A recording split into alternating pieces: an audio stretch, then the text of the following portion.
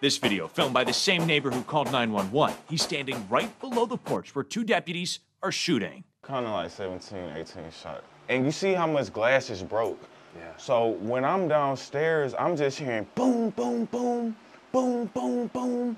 The result even more shattered glass, wood siding that looks like Swiss cheese, and bullet holes in the front door that are now peepholes. Inside, several bullets hitting a 28 year old woman. They can see through the window and see that someone's approaching the, the, the door holding a weapon. But she's not a burglar. Actually, she lives here. At the time, no one knew that, including the neighbor who called 911.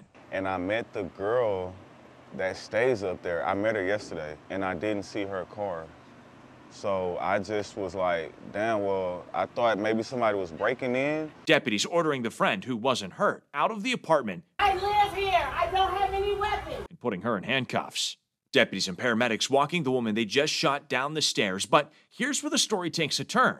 Robert called 911. However, deputies, they were already here.